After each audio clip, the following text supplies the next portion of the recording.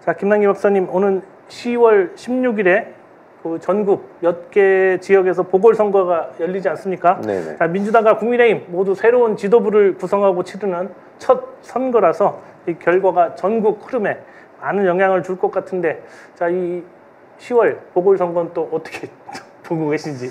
네. 예, 그렇습니다. 이제 부산, 인천, 전남에서 네 개의 구청장 그리고 군수 선거가 있습니다.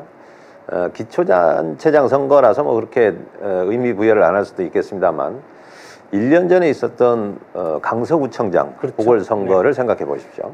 이 선거에서 민주당이 압승. 큰 차이로 예, 압승을 하면서 사실상 윤석열 대통령의 레임덕이 가속화됐습니다. 그리고 결국 그 결과 총선에서도 사실 야당이 에, 압승을 하는 효과가 있었거든요. 이번 보궐선거에서 특히 이제 국민의힘 강세 지역인 어, 수도권입니다만 강화군수 선거와 그렇죠. 부산의 금천, 어, 금정구청장 선거 결과는 아마 윤석열 정권과 한동훈 체제에 대한 평가로도 연결될 수 있기 때문에 관심을 어, 가져야 될 것 같습니다. 이 제가 인천 강화에 좀 산 적이 있었는데 이 강화는 전통적으로 이 대구 달성군보다도 더 보수세가 강한 지역 아닌가 싶습니다. 예. 자, 이거 어떻게 생각하십니까?